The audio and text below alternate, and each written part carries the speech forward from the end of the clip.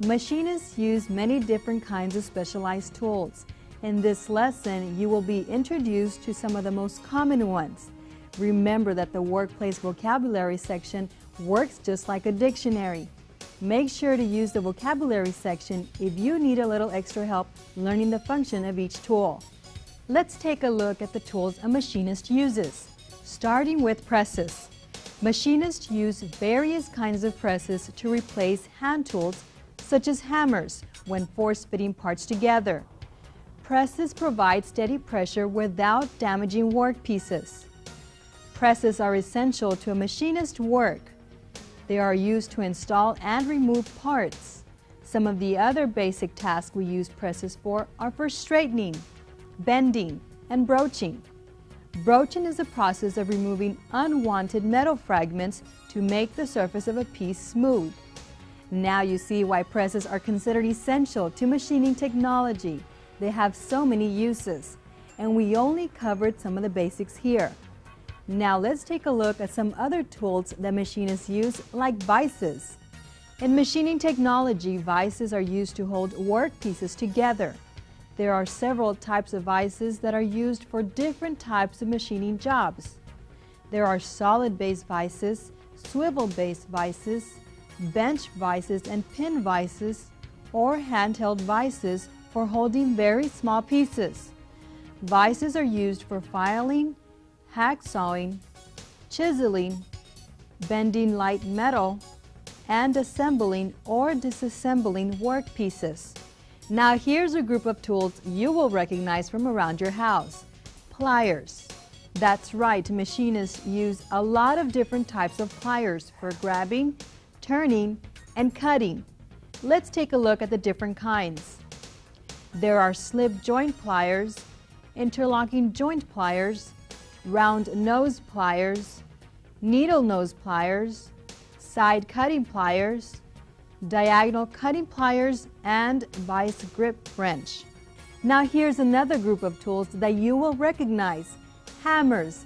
Machinists use several different kinds of hammers. A maul is a hammer made for heavy hammering. Ball peen hammers are the ones most frequently used by machinists. They have a rounded surface on one end of the head. Another set of tools that you will recognize from around your house are wrenches. Machinists use different types of wrenches in the machine shop to loosen or tighten bolts. Here are some of the most common ones. Open-ended wrenches are double-ended and used to turn square-headed bolts. The two ends usually fit two different sizes. Box wrenches are also double-ended and are offset to clear the user's hand. The box completely surrounds the nut or bolt. These wrenches have the advantage of precise fit. Combination wrenches are also double-ended. One end is open and the other end is boxed. That's why it's called combination. Pipe wrenches are used for holding and turning pipes. These wrenches have sharp teeth and would cause damage if they were used on finished parts. Adjustable hook spanners are wrenches with a single end that adjust to different sizes. There are many other wrenches. We just touched on a few to give you a general idea of how wrenches work in the machine shop. Now let's move on to screwdrivers.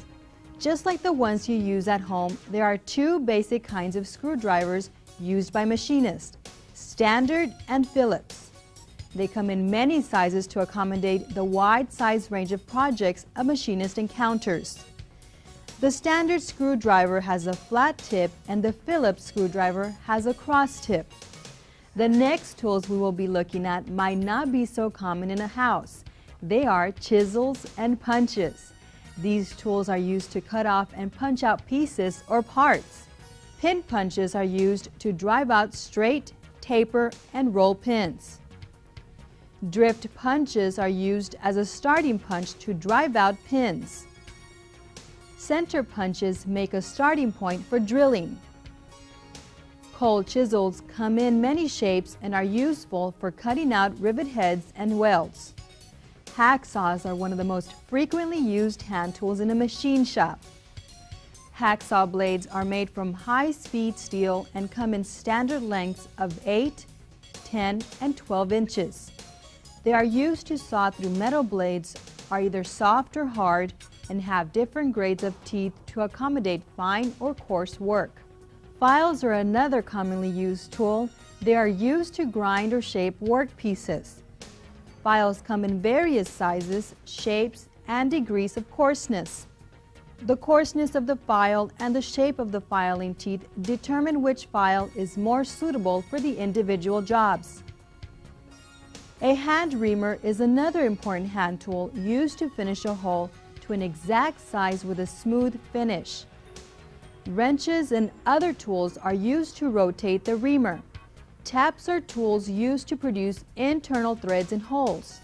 The actual process of cutting internal threads and holes is called tapping. Tapping is done by hand and machine depending on the material and project. Dies are used to cut the external surfaces of round materials such as a bolt or rod. Like taps, dies come in various sizes and some are adjustable. The pedestal grinder is used for many hand grinding operations, especially sharpening and shaping drills and tool bits. We just covered a lot. Remember, you will have more time to learn about these tools before using them in a machine shop.